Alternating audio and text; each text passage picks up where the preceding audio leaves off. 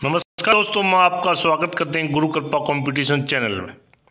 दोस्तों, आज कार्मी विभाग ने आरएस भर्ती के लिए वर्गीकरण जारी कर दिया है और इसी सप्ताह जारी हो सकता है विज्ञापन। ये नवज्योति अजमेर की खबर है और ये कितने पदों पर होगा?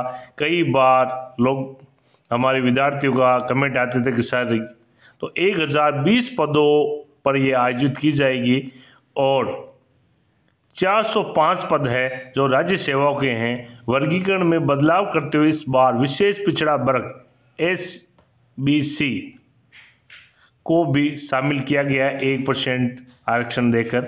और जो सबसे बड़ी बात है, सामान्य वर्गों के स्टूडेंट के लिए 35 से बढ़ाकर 40 साल उम्र कर दी गई है। और ये अधिसूचना जारी। इस वैकेंसी जब भी आएगी तो इसमें 40 साल उम्र होगी जनरल के लिए। अब देखते हैं, ये वर्गीकरण क्या है? राज्य प्रशासनिक सेवा के पिचोत्तर पद हैं, पुलिस सेवा के चौंतीस पद है, लेखा सेवा के 104 बीमा सेवा के 11 औद्योगिक सेवा 15 इस प्रकार आप ये देख सकते हो, टोटल एक हज़ार बीस है।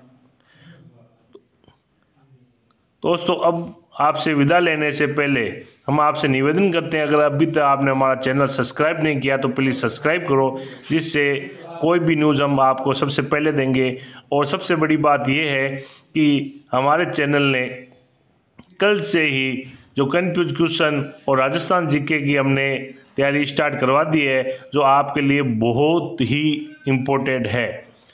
आरएस में एक दो नंबरों से रहने वाले परीक्षार्थियों के लिए हमने ये मिशन स्टार्ट किया है। तो आप हमारे चैनल को सब्सक्राइब करके आप कंफ्यूज होने वाले प्रश्न, जो भी इम्पोर्टेंट श्रृंखला है हम आपको शीघ्र ही उपलब्ध इस चैनल पर करा देंगे।